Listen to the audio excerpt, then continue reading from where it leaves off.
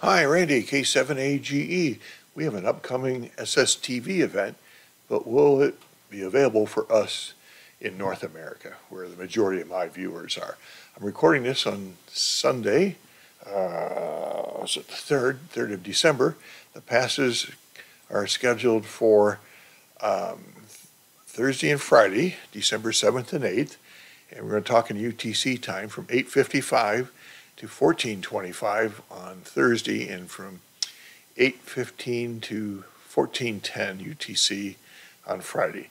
So when I see times like that, I am leery of whether or not it's going to be available in the United States. Since the Russians manage the SSTV events, it may be over Europe and Russia. So uh, let's take a look here. I'm going to use Orbitron to take and simulate the uh, times.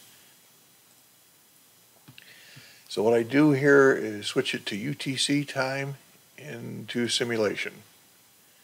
I'm going to set the date here for 1207 and the time in UTC 0855 00 enter. Okay, so that's where it is at at uh, 855 UTC out here to the east of South America. I have 10 minutes selected here. So every time I hit this button, it'll jump 10 minutes. So we'll step through here and you can see it's going over Europe, so you guys will be lucky. And of course over Russia, China, and out over the ocean. So I can step through this up to um, 1425. Here it's 11 UTC, 12 UTC, 1335. And if you're in Florida, you might get a pass pretty low elevation, 1355. There's 1405, 1415, 1425. So that's where it ends on the Thursday pass.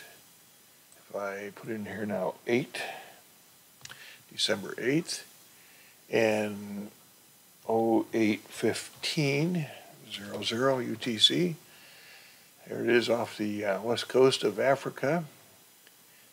Uh, 815, I got all that right. Okay, so let's step through. Uh, you can see again passing over Europe. South America will get, get a bunch of passes. It's uh, We're now at um, basically 10 at 10 U, UTC. This continues through through 1410. Here we are at 1145 UTC. Uh, 1305. Yeah. Maybe some of the people in the Northeast might get a pass. Again, Europe, and now we're starting to uh, get away from Russia. 1325.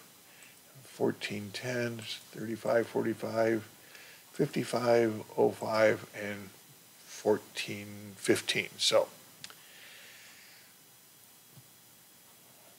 so that's where it's going to be going. It won't be over North America, the United States. Maybe some of the guys lucky on the East Coast may uh, may pick up a low elevation path. Um, so when you see the dates for the ISS, if it's a a date and a very limited time and another date and a limited time, it's probably going to be over Europe and Russia. If it's a date with a time with a following date several days later and another time, that's probably a good indication that it will be on for 24 hours a day and you have lots of opportunities. So if you're in North America, it's not an event. Thanks for watching, Randy, K7AGE.